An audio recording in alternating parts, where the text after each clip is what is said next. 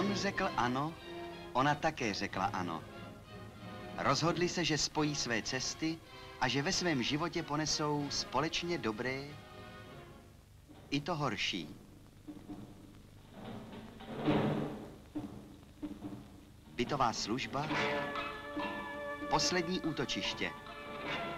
Jsou tu desítky, stovky kartiček a každá kartička je byt. Malý nebo velký, s ústředním topením i bez, na sever i na jih. Jen si vybrat a domluvit se.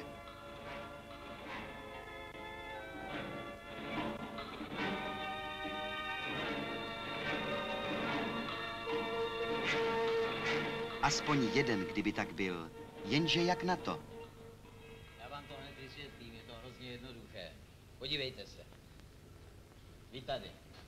Vy máte třeba třípokojový byt. Vy máte dvoupokojový a vy, dejme tomu garzonku. A teď. Vy s tím třípokojovým bytem máte zájem o tu garzonku. Vy s tou garzonkou byste chtěli dvoupokojový byt. A ti s tím dvoupokojovým bytem by chtěli něco většího. No, je to jasné? A teď mě sledujte dál. Dovolte, ale tohle nikam nevede. To je přesypávání písku z jedné hromady na druhou. A toho písku je pořád stejně.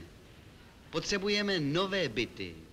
Musíme si uvědomit... Potřebujeme nové byty, to jste objevil Ameriku. Samozřejmě, že potřebujeme, ale kde je vezmete? Na ty vaše frázy a pentličky vám nikdo neskočí. to jste sama zdicí trojka a panel a, a cihlový bloky a novátor a, a mechanizace a, a, a já pořád nebydlím. Ale ono se opravdu, milí příteli, staví. A dokonce novátorsky a s mechanizací a z bloků. Ale jeden zedník není ještě zdicí trojka. A ten cihlový blok musí také někdo dát dohromady. Podívejte se na tohle staveniště. Stroje tu jsou. Míchačky, jeřáby, výtahy, ale něco nám tu přece jen chybí. Lidi, ti dva to nevytrhnou. Ale kdyby to vypadalo takhle, hnula by se stavba ku předu. První, druhé poschodí. A za chvíli by se už do domu někdo stěhoval. Jenže kdyby jsou chyby, teď to tu vypadá takhle.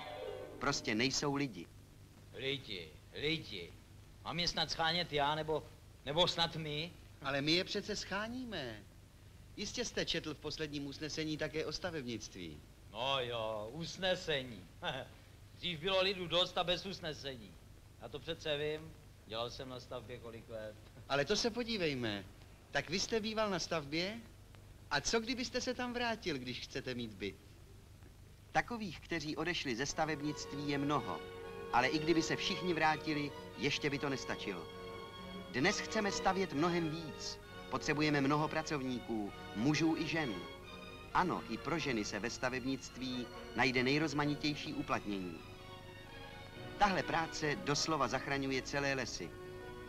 Strámků a prken, které by se jinak museli vyhodit, se po další úpravě připravuje nové bednění. Bude z nich nový stavební materiál. Jenže často se to nedělá, protože není koho na tu práci uvolnit.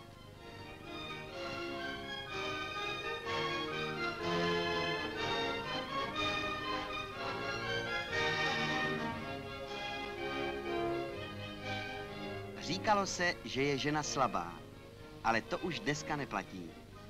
Tenhle kus železobetonu váží hezkých pár metráků, ale přece je i pro slabou ženu hračkou dopravit ho do nejvyšších pater.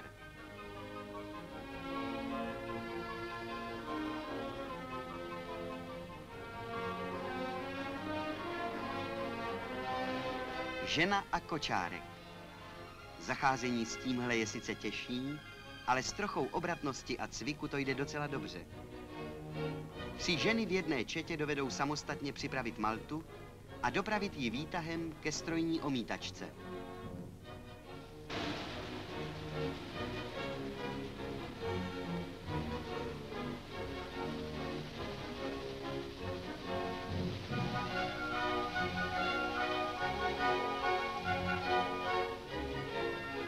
Mnoho takových ženských čet na stavbách nenajdete. A právě ženy z domácnosti jsou velkou rezervou pracovních sil a stavebnictví je pro ně dobrým uplatněním vedle kvalifikovaných stavebních dělníků.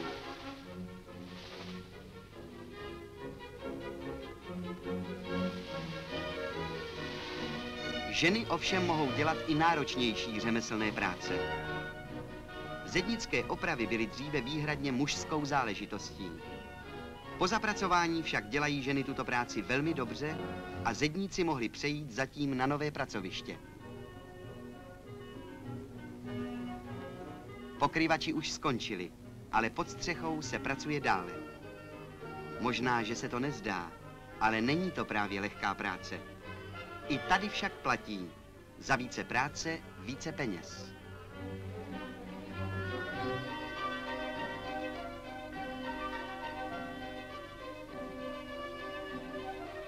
Muž nebo žena, to je mi jedno, ale musí umět vzít za práci, říká mistr.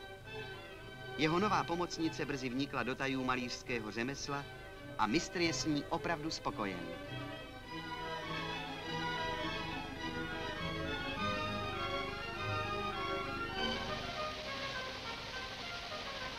Skoro všechny ženy Čety Marty Minářové přišly na stavbu jako brigádnice před několika roky. Utvořili pevný, dobrý kolektiv. Jsou spokojeny s prací i výdělky a tak u nich už zůstali. Stavba má velké perspektivy a práce je tu na řadu let.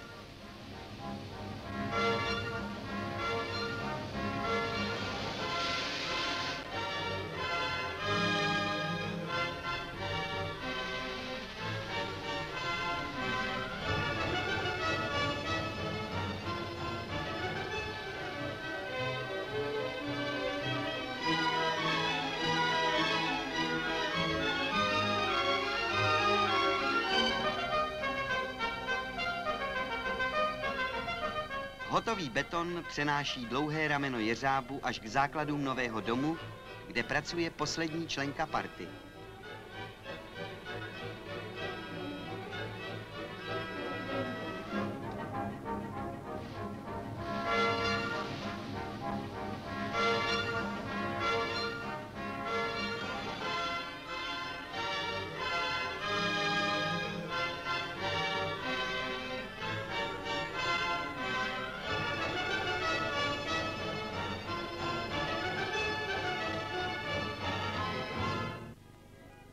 Je to ovšem opravdová práce. Člověk se zapráší, umaže, ale i na to je pamatováno. Ženy mají na stavbě zvláštní šatny, na větších i umývárny. A tak můžete z práce třeba rovnou do kina. Paní Svobodová přišla také jako brigádnice. Chcete-li, máme povolení podívat se k ním domů. Proč ne, říká paní Svobodová. Všechno, co máme, jsme si museli poctivě zasloužit. To víte, když se můj plat přidá k mužovu, to už si můžeme lecos dovolit. A na stavbě je práce pro každou a pro každého dost. Co říkáte? Stojí to za úvahu? Nechceme samozřejmě, aby šli všichni lidé stavět, ale mnozí a mnohé by opravdu mohli. Naše stavebnictví na ně čeká. Dobře, tebe tedy nepustí, ale proč bych nemohla jít já? Konečně na stavbě jsem už pracovala, tenkrát na brigádě ve Vršovicích. Samozřejmě taková práce jako míchat maltu nebo podávat cihly, to se člověk naučí hned. Mě by to ale hrozně bavilo, třeba u jeřábu. No, jenže se trochu bojím, víš, jestli bych se to naučila. To přece není žádná maličkost pracovat na takovém velkém stroji. Ale já bych přece jen ráda pracovala u jeřábu. Myslíte, že bych se to mohla naučit? Podívejte se, víte co? Za chvilku bude svačina. Pojďte se podívat. Uvidíte, že to není tak těžké, jak si myslíte. Hlavně je, že máte chuť do práce. Jinak se všechno můžete naučit.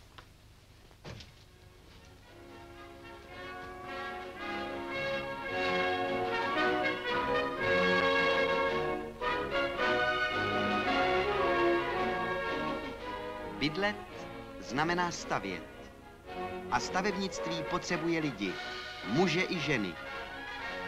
Chceme-li splnit úkoly druhé pětiletky ve výstavbě bytů, musíme mít ve stavebnictví dost lidí. Jiné cesty není.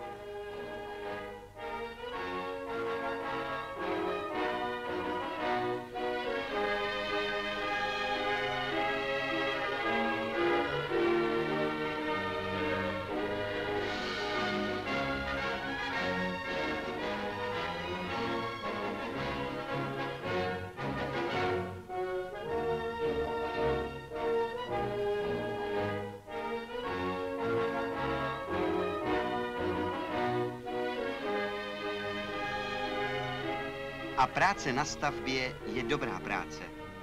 Vidět, jak pod rukama roste z cihel dům, ulice, celé čtvrtinového sídliště. Vědět, že tenhle dům jsem pomáhal stavět, že v něm bydlí lidé, kteří s vděčností vzpomenou na ty, kdo dům stavěli, na naši partu, na mne. Je to prostě dobrá práce.